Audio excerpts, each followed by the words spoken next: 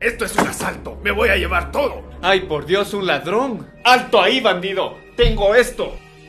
¿Y esa chingadera qué es? ¡Se llama distracción! ¡Estúpido!